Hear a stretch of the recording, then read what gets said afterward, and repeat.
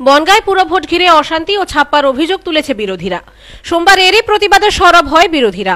এদিন বনগায় ভোটে অশান্তি, ছাপ্পা, ভোটলুট ও কংগ্রেস কর্মীদের হেনস্থার প্রতিবাদে পথে নামে কংগ্রেস নেতৃত্ব। মিছিলে নেতৃত্ব দেন বনগাঁ শহর কংগ্রেস সভাপতি সুনীল কুমার রায়। ছিলেন কংগ্রেস নেতা, কর্মী ও প্রার্থীরা। প্রতিবাদ মিছিল থেকে ভোটের শাসক দলের ভোট লুটকে ধিক্কার জানায় তারা। বামেদের পক্ষ থেকেও এদিন প্রতিবাদ মিছিল করা হয়।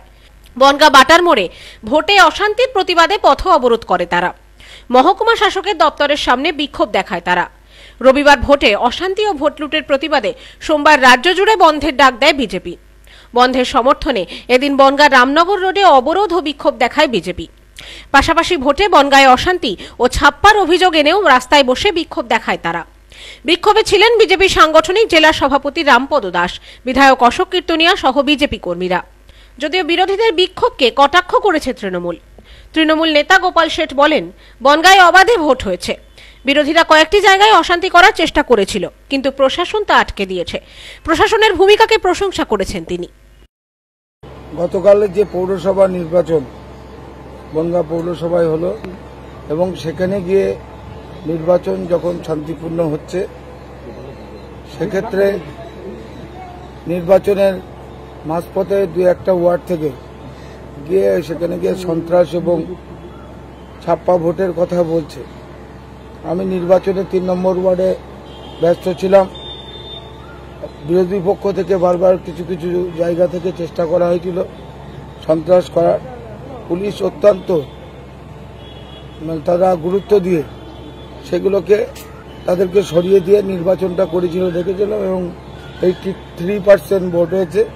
সেখানে গিয়ে আমার ওয়ার্ডে এক নম্বর, দু নম্বর, তিন নম্বর, সতেরো নম্বর, প্রতিটা জায়গায় মানুষ সবাই এসে বলেছে, আমরা ভোট দিয়েছি।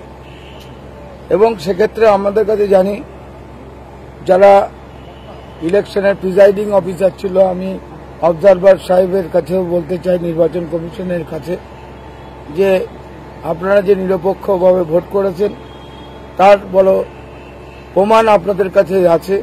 কারণ হচ্ছে আপনাদের কাছে যারা ভোট দিয়েছিল, সেই বাড়িতে বাড়িতে আপনারা যান, দেখুন প্রত্যেকের হাতে কালি দেখতে পাবেন। রাজনৈতিক উদ্দেশ্যভাবে সন্ত্রাস বা ছাপ্পা ভোটের কথা বললে, আপনারা বাড়ি বাড়ি ঘুরলে বুঝতে পারবেন যে প্রত্যেকে ভোট দিয়েছে, কোনো ভোটার অভিযোগ করছে না।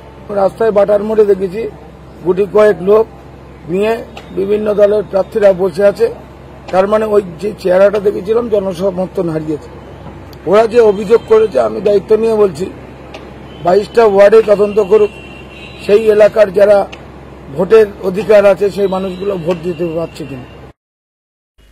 Bureau report, news no man's land, Bongaon.